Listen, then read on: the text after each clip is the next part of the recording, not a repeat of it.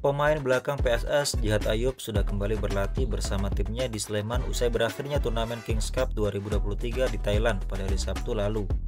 Pemain berpaspor Lebanon itu langsung fokus untuk menatap laga pekan ke-12 BRI Liga 1 musim ini.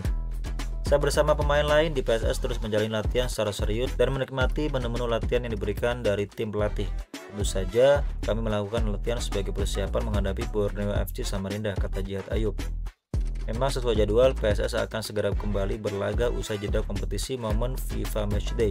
Pada laga pekan ke-12 nanti, PSS akan bertandang ke Stadion Segiri Samarinda melawan Borneo FC pada hari Minggu tanggal 17 mendatang. PSS sendiri sementara ini masih berada di peringkat ke-7 klasemen sementara. Dari 11 laga yang sudah jalani, PSS mengantungi 17 poin. Mengenai kiprah timnas Lebanon di Thailand lalu, dia mengatakan mendapatkan posisi ketiga usai mengalahkan India dengan skor tipis 1-0. Sebelumnya pada laga pertama, mereka kalah dari tuan rumah Thailand 2-1. Hasil ini pun bagi Ayub cukup memberikan peningkatan bagi performa negaranya.